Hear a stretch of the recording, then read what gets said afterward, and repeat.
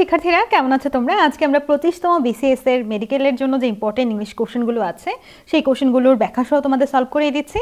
Medical ভর্তি পরীক্ষার জন্য কিন্তু বিসিএস এর কোশ্চেন সলভ করা অনেক অনেক বেশি দরকার।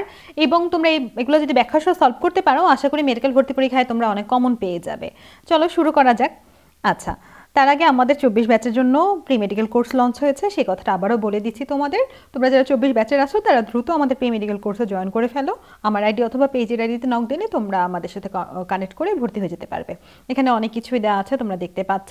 চলো শুরু করা যাক আজকের বিসিএস এর প্রশ্ন solve he told me his name after hit hash দেখো, আমি এরকম কিন্তু এর আগেও সলভ করেছি তোমাদের। আফটার অথবা বিফোর যদি থাকে। আফটার অথবা বিফোর যদি থাকে, তাহলে কি হবে?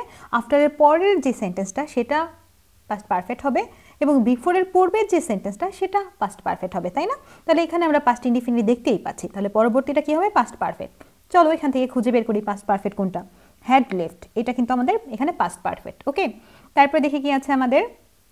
He advised me dash some smoking তাহলে অ্যাডভাইসডের পরে অবজেক্ট আছে যদি অ্যাডভাইসডের পরে অবজেক্ট থাকে, তাহলে কিন্তু আমরা টু প্লাস ভার্বের বেস ফ্রম দিয়ে ইনফিনিটিভ করে তারপরে এটার অ্যান্সারটা করি হ্যাঁ?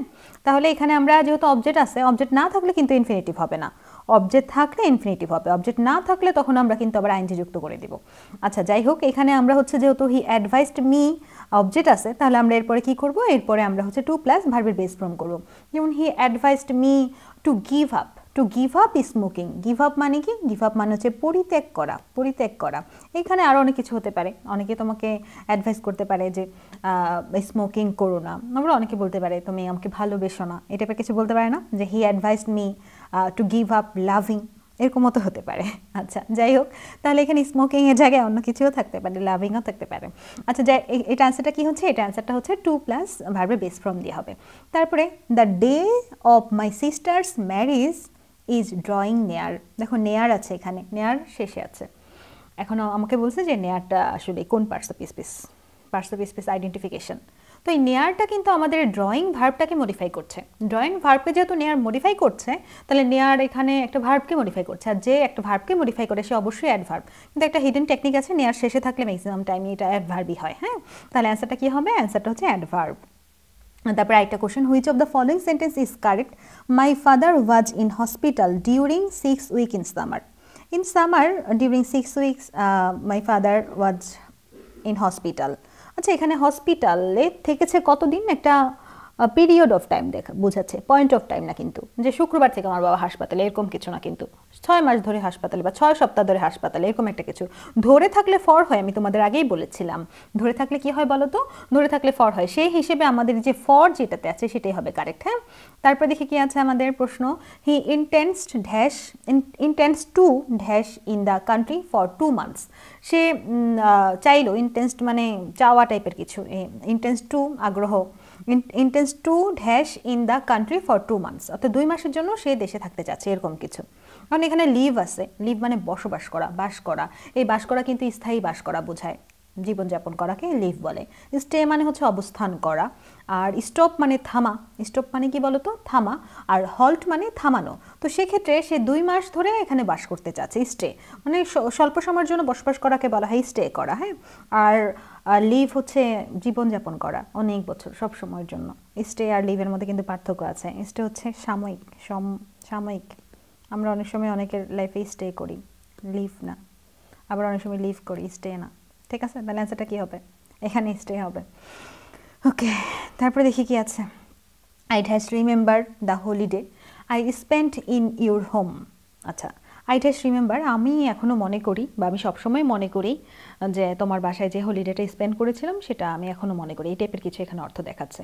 তো এটা আসলে আমাদের কি হবে অ্যান্সারে এখানে এই সেন্টেন্সটা আসলে একটা পজিটিভ অর্থ বহন করছে। তোমার বাড়িতে কাটানো স্মৃতি আমার সব সময় মনে পড়ে। এই টাইপের কথা। তাহলে এখানে ইভার বা হার্ডলি সাধারণত আমরা জানি ইভার হার্ডলি কি? নেগেটিভ সেন্স বহন করে হ্যাঁ? আর ইউজারলি দ্বারা আমরা সবসময় বুঝি ইউজারলি তো আমরা তো সবসময় কারও বাসায় টাইম স্পেন্ড করি না, এরকম, তাই না? তাহলে এখানে অ্যান্সারটা আসলে অলওয়েজ হবে। কী হবে বলো তো অ্যান্সারটা আমাদের অলওয়েজ হবে ওকে তারপর দেখি কি আছে? Shaheen would make would never have taken the job if dash if dash what আচ্ছা এখানে ইফ যুক্ত সেন্টেন্স সেটা হচ্ছে মেন কথা, বাকিটা তুমি পড়ো।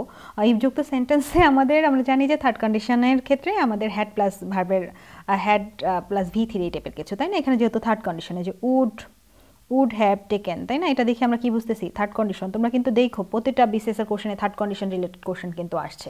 তাহলে আমাদের এখানে অ্যান্সারটা আসলে হি হ্যাড নোন হবে। হ্যাড প্লাস ভি থ্রি এটা একদমই টেকনিক তোমরা শিখে গেছো হয়তো বা যাদের অভ্যাস হয়ে গেছে এতদিন। আমি কিন্তু আজকে বিশ নাম্বার ক্লাস এটা। একদম পঁয়তাল্লিশতম বিসিএস থেকে পঁচিশতম বিসিএস পর্যন্ত বিশটা ক্লাস তোমাদের টানা করে দিয়েছি। এরপর আমাদের আরও কয়টা বাকি? পঁচিশ থেকে পনেরো, দশ।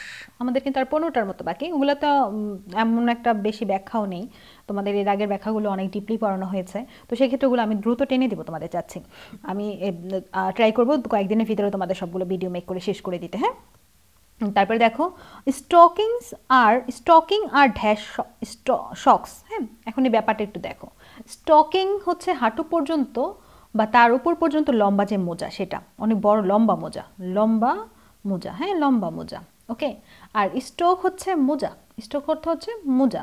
মোজা কিন্তু ছোট ছোট মোজাও থাকে। শীতের দিন অনেকে মোজা পড়ো না? তো অনেক মোজা কিন্তু অনেক লম্বা, একদম পা পর্যন্ত টেনে, হাঁটু পর্যন্ত নিয়ে যাওয়া যায়। অর্থাৎ স্টোকিংস আসলে লম্বা মোজা। স্টোক হচ্ছে মোজা। আর স্টোকিং হচ্ছে এক ধরনের লম্বা মোজা। লম্বা মোজা। তাহলে আমরা এখানে কী দিব? এই জায়গায় লং দিব। ঠিক আছে? এখানে কী দিব বলো তো? লং দিব।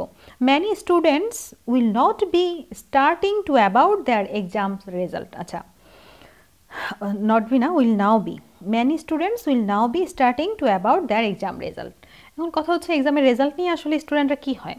এক্সামের রেজাল্ট নিয়ে স্টুডেন্টরা নর্মালি অরি এখানে উদ্বিগ্ন হওয়া বোঝায়। তোমরা জানো, চিন্তা করা বা উদ্বিগ্ন হওয়া রিফ্লেক্ট মানে প্রতিফলিত হওয়া রিফ্লেক্ট রিফ্লেকশন আমরা বলি না, ওরকম, প্রতিফলিত। রিফ্লেক্ট মানে কি? প্রতিফলিত। ইনকোয়ার ইনকোয়ার শব্দের অর্থ হচ্ছে খোঁজ খবর নেওয়া, খোঁজ খবর নেওয়া। ইনকোয়ারি করা বলে না। ইনকোয়ারি করতে আসছে, দেখো পুলিশরা কিন্তু এরকম আসে খোঁজ খবর নিতে অনেক সময়। আচ্ছা খোঁজ খবর নেওয়া। তারপর কমেন্ট কমেন্ট হচ্ছে মন্তব্য করা। কমেন্ট কি করা বলো তো মন্তব্য করা। এখন আমার কথা হচ্ছে একটা স্টুডেন্ট এক্সাম নিয়ে কি করবে? খোঁজ খবর নেবে এক্সামের এক্সামের খোঁজ খবর এক্সামের রেজাল্টের খোঁজ খবরের চাইতে মানুষ চিন্তা করে বেশি, বুঝছ? রেজাল্টের আগে রেজাল্ট কবে দিবে সেটার চাইতেও বেশি রেজাল্ট দিবে এই বিষয়টা। দ্যাট মিনস উদ্বিগ্ন থাকে বেশি, চিন্তিত থাকে বেশি। ওরি হবে এখানে অ্যান্সার কি হবে? ওরি হবে। Climate is a dash of the environment climate is a dash of the environment এটার সাথে আমাদের আসলে এখানে কি বসতেছে? ক্লাইমেট আসলে এনভায়রনমেন্টের সাথে এখানে আমরা এখানে কি বসাবো সেটার জন্য আমাদের আগে অর্থগুলো জানা দরকার। স্টেট স্টেট মানে কি? স্টেট মানে হচ্ছে, স্টেট মানে কি বোঝায়? স্টেট মানে অবস্থান বোঝায়। অবস্থান অবস্থান। সিচুয়েশন সিচুয়েশন মানেও তো অবস্থান। অবস্থা আর কি হ্যাঁ? সিচুয়েশন মানে অবস্থা সিচুয়েশন আর এটা হচ্ছে আমাদের র্যাঙ্ক র্যাঙ্ক মানে সারি সারি বা ক্রম। সারি বা ক্রম। র্যাঙ্ক মানে সারি বা ক্রম। সাইজ সাইজ মানে হচ্ছে আকার সাইজ মানে আকার। মানে ইস ক্লাইমেট ক্লাইমেট আসলে আমাদের জলবায়ু, তাই না? ক্লাইমেট কি একটা বলো তো জলবায়ু। জলবায়ু আসলে পরিবেশের একটা অবস্থা না?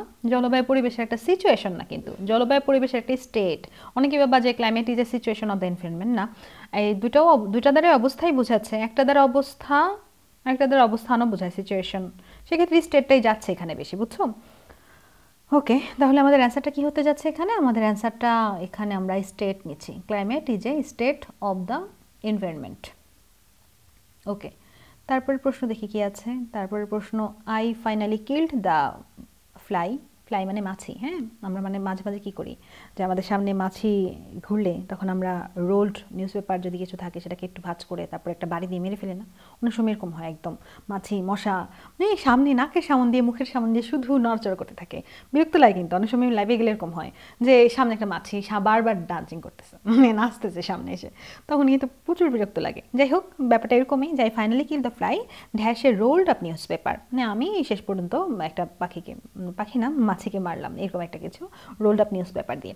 এখন আমার কথা হচ্ছে কিল্ড কিল্ড মানে হত্যা করা টাইপের কিছু মেরে ফেলা টাইপের কিছু বোঝাচ্ছে এখানে, তাই না? কিল্ডের পরে যদি আমরা দেখি যে এখানে কিছু দিয়ে আঘাত করে মারা হচ্ছে বা কিল দ্বারা কাউকে হত্যা করা হচ্ছে, তাহলে কিল্ডের পরে কিন্তু উইথ বসে। কিল্ডের পরে কি বসে? কিল্ডের পরে উইথ বসে okay we must talk placed আচ্ছা we must took placed or else he will be dash দেখো, আমরা, আমাদের অবশ্যই হাসি খুশি থাকা উচিত বা সন্তুষ্ট বোধ দেখানো উচিত। না হলে নতুবা অর ইলস দিয়ে হচ্ছে নতুবা নতুবা সে অখুশি হবে বা ডিসস্যাটিসফাইড হবে। এরকম হয় না অনেক সময় যে আমরা হাসি খুশি থাকলে অন্য কেউ খুশি হয়। তো সেক্ষেত্রে আমাদের হাসি খুশি থাকা উচিত। আমরা যদি হাসি খুশি না থাকি, তাহলে অনেকে ডিস্যাটিসফাইড হয়। এই জন্য আমরা হাসি খুশি থাকি। এরকম হয় না ব্যাপারগুলো? ওরকমই আর কি। ধরো তুমি কারও বাসায় বেড়াতে গিয়েছো, সেখানে যে তুমি যদি হাসি খুশি না থাকো তাহলে যে বাড়িতে বেড়াতে গিয়েছো, সেই বাড়ির মানুষজন মন খারাপ করতে পারে বা এরকম কিছু। তো সব কিছু হয়ে আমরা কি করতে পারি এখানে? উই মাস্ট টোক প্লেসড আমাদের অবশ্যই হাসি খুশি থাকা উচিত বা সন্তুষ্ট থাকা উচিত। অরিলস অরিলস বলতে নতুবা হি উইল বি কি হবে? হি উইল বি হ্যাপি হবে তো নাই।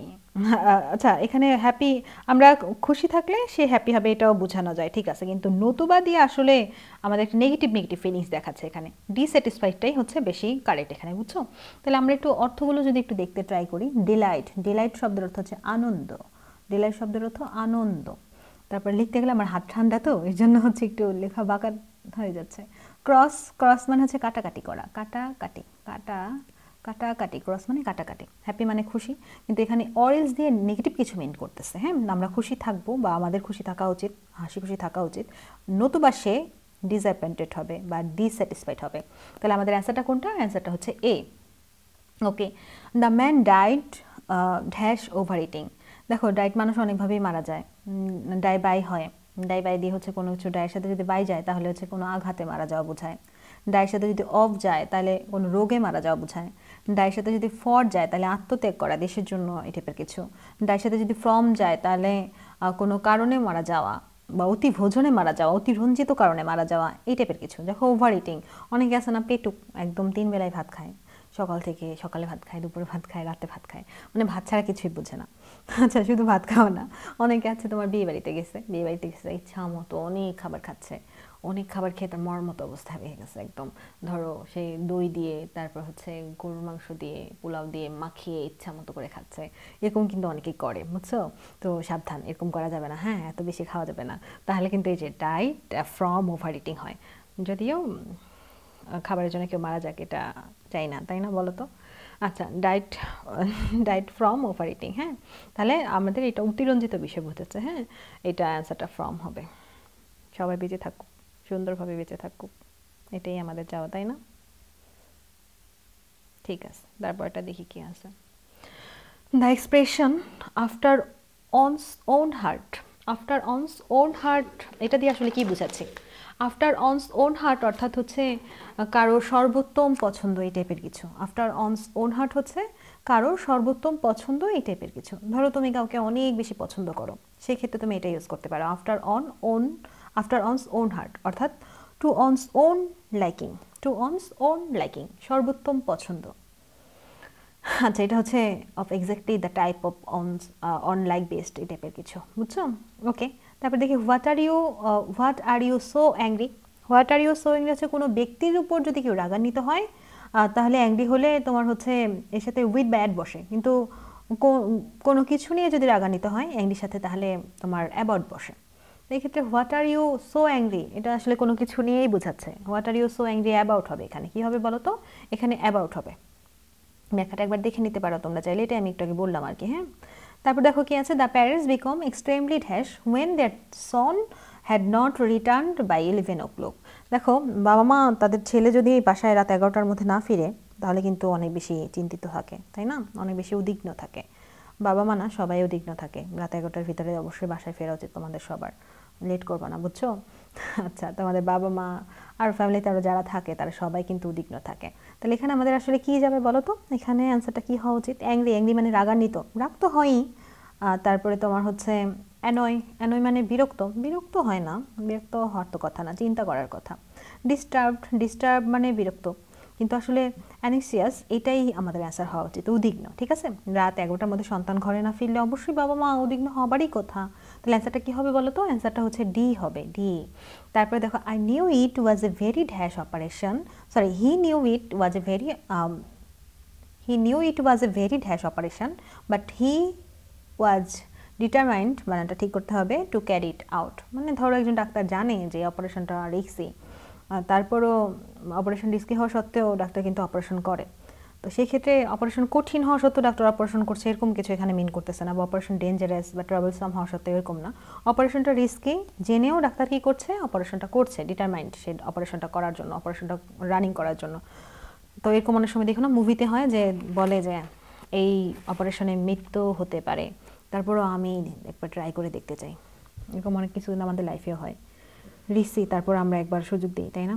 একবার সেটা ট্রাই করে দেখতে চাই, কাউকে একবার সুযোগ দেওয়া যায়। ওরকম আর কি, উনি একটা সুযোগ দেখতে চায়। আচ্ছা দেখুক ডিটারমাইন্ড শব্দের অর্থ কি বলতো? একাগ্র চিত্র, একাগ একাগ্র চিত্র, একাগ্র চিত্ত ওকে একাগ্র চিত্র to carry carry it out out আচ্ছা he knew it was a very dash operation but he was determined to carry it out তাহলে এটা রিস্কি হবে হ্যাঁ? সে জান জানতো বা জেনেছিল যে এটা একটা risky operation but he was determined to carry it out thanks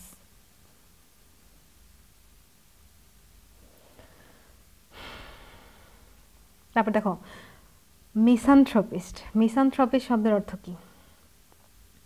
misanthropy শব্দের অর্থ হচ্ছে মানব জাতিকে ঘৃণা করা। এরকম আছে অনেকে, মানব জাতিকে ঘৃণা করে, মানুষকে ঘৃণা করে। এই হ্যাটার অফ ম্যানকাইন্ড হবে এটা। অ্যান্সারটা কী হবে বলো তো? হ্যাটার অফ ম্যানকাইন্ড এটা একটু মুখস্থ করে ফেলবা। তারপর দেখো ফার্স্ট ল্যাঙ্গুয়েজ মিন্স কি? ফার্স্ট ল্যাঙ্গুয়েজ মিন্স হচ্ছে নেচার ল্যাঙ্গুয়েজ আমরা অনেক সময় দেখি না বাচ্চা জন্মের পরে বাবা মার কাছ থেকে বা পরিপার্শ্ব থেকে অনেক কিছু শিখে, কথা শিখে। এটা হচ্ছে নেচার ল্যাঙ্গুয়েজ এটা কী ল্যাঙ্গুয়েজ বলো তো এটা হচ্ছে নেচার ল্যাঙ্গুয়েজ ফার্স্ট ল্যাঙ্গুয়েজটা ইম্পর্টেন্ট না মেইন না অফিসিয়ালও না। ফার্স্ট ল্যাঙ্গুয়েজ কীভাবে অফিসিয়াল হয়? এটা নেচার ল্যাঙ্গুয়েজ